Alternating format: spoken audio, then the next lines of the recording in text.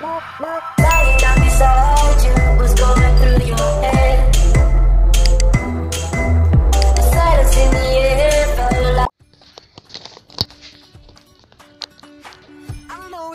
¿cómo están? Yo soy Luis y pues en este video yo les quiero mostrar cómo elegir un feed para Instagram que sería como toda la secuencia de fotos que tienen para su Instagram y ver cuál sería el que más se acomoda a ustedes, a su estilo y a su gusto. Eh, uno puede al principio pensar que cualquiera le puede quedar porque uno le gusta pero en realidad no puede ser así así que pues aquí les voy a mostrar cómo podría ser mejor para elegir un buen feed así que comencemos bueno, la primera cosa sería mirar qué lugares están más cerca a ti y que más te gustan. O sea, qué fondos diferentes puedes utilizar por una foto. No creo que vaya a ser la misma foto diaria bueno, no diaria, cada vez que vaya a subir yo no creo que vaya a ser la misma. Así que tendrías que buscar qué fondos hay. En mi caso sería como hay bastantes paredes de ladrillo y bastante blanco que sería variar eso, buscar qué, o si no inventar algún fondo con alguna tela o algo así. Buscar algún lugar nuevo, tomar fotos para Instagram puede ser una buena forma para conocer nuevos lugares.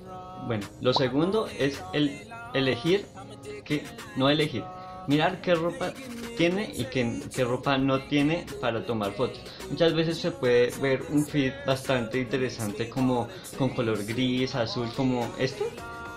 Uh, que puede ser bastante atractivo, pero uno no lo puede hacer porque no tiene cierta ropa, no tiene ciertos lugares, no tiene ciertas iluminaciones que se pueden crear eh, y por eso no queda.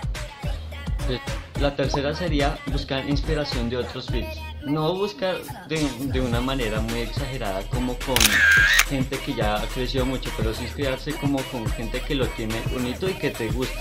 El cuarto es buscar cuál es el que más te representa según el color. Si tú ves que eres alguien como que, bueno, yo utilizo mucho color negro, mucho color azul, mucho color rojo, buscar según esos colores que a ti te gustan, qué fit te puede gustar y que según el transcurso del tiempo tenga que concordarse a todas las fotos. Digamos, si hoy te subes una foto con un fondo blanco, pero a, a todo el resto de fotos no, no tiene que ver con un fondo blanco, digamos que de un momento a otro subes casi que con un color muy oscuro y que no va con lo que ya tienes, se puede ver como extraño.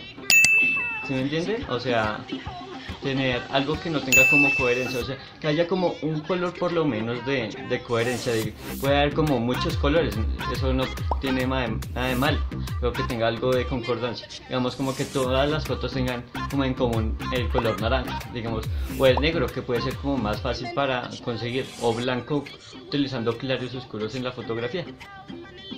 Bien, otro tip, no sé en cuál vamos, pero sería buscar que no únicamente sean fotos como de lo mismo. ¿Sí me entiendes? O sea, podría ser una foto de uno en, en todas, pero que no sea como todas parecidas de, en, en, exceso. Sería como que, digamos, hoy subo una foto que fuera de cuerpo entero, que sea, muestre toda la ropa que llevo.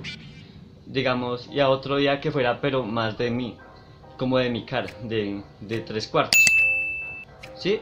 Y otro día no sé, podría ser de pero de espaldas. Buscar que no sean tan parecidas, o sea, que tengan su concordancia, pero que no sean tan iguales. O sea, o si no el feed va a ser como tan tan común y la gente va a ser no no va a tener como una interacción interesante. Si quieres que llegue gente nueva, sí, o si no va a ser algo difícil.